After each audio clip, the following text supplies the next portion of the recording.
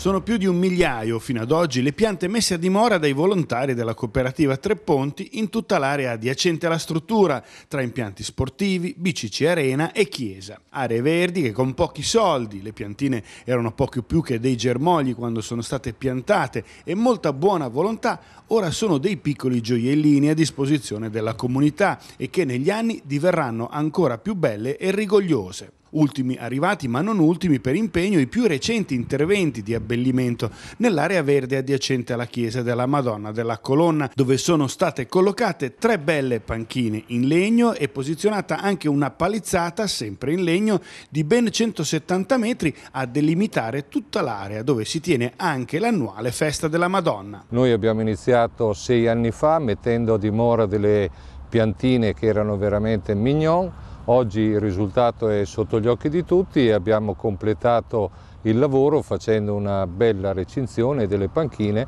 sperando che tutti possano usufruirne e che sia un esempio per tanti altri di poter continuare anche nei loro quartieri a fare questo lavoro.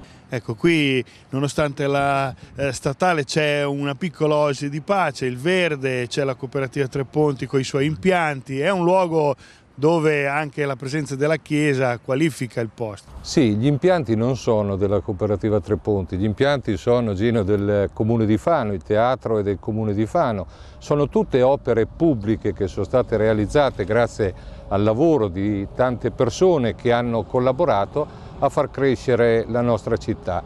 Eh, se ciascuno pulisce davanti a casa la città è sicuramente più pulita.